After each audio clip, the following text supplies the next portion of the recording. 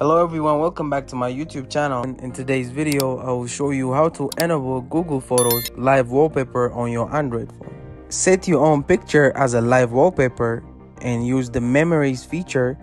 Let's get started. First, open the Google Photos app on your Android phone. Select Google Photos from the options, then click the plus sign at the bottom. Select Album, add a title, and click the check mark on the right to save the album.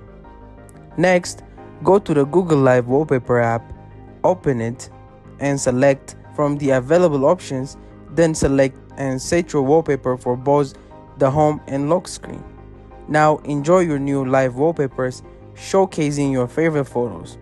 Thank you guys for watching this video. Don't forget to like and subscribe. If you have a question, doubt or suggestion, put that in the comment section below and hit the bell icon for more tips. See you next time.